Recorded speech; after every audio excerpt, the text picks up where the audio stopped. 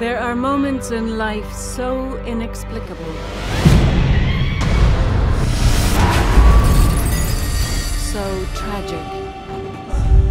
They just knew he was not going to make it. So full of pain and fear. That only unwavering faith can turn things around. These moments are life's greatest gifts. They come to us when we need them the most and when we expect them the least. They are moments of divine intervention.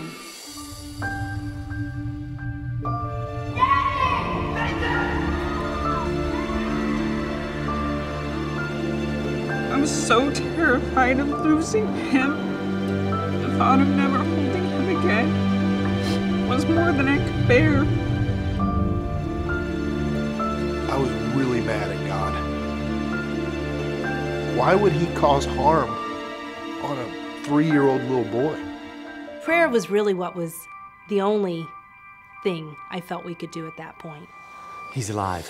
Oh my God.